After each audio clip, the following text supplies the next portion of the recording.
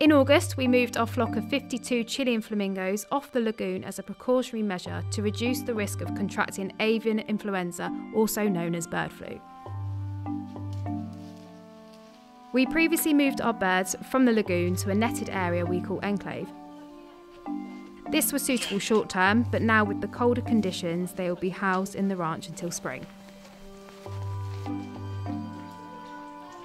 Handling any birds, again due to AI, we are suiting up as well as wearing disposable gloves. Anyone suffering flu like symptoms wears face masks, and a safe four foot bath is in place, which is basically a disinfectant entering each aviary.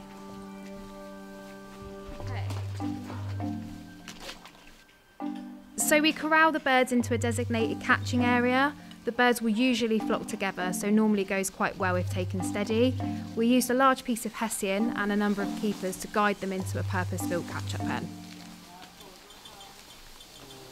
Making sure all PP is worn as a bird is grabbed by the body. Um, the wings are then tucked in and held under the arm.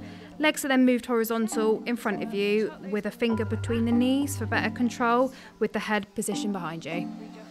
That's it. And then the idea is if you put your fingers between the legs, it, it stops them from slipping. Okay, and just hold on to them. And that's it, yeah. You might want to pull your arm forward so the wing will come out.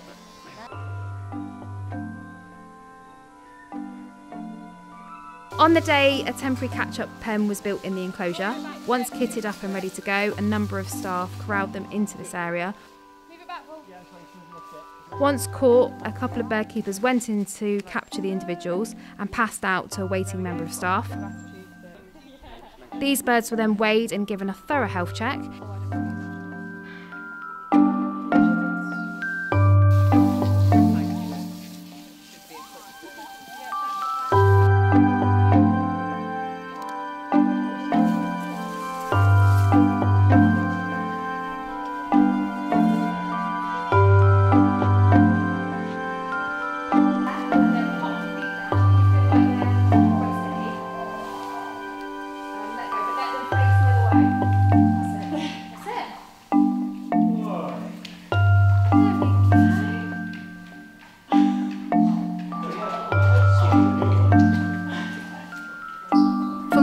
Videos from our keeper teams, consider subscribing to the Wild Planet Trust YouTube channel.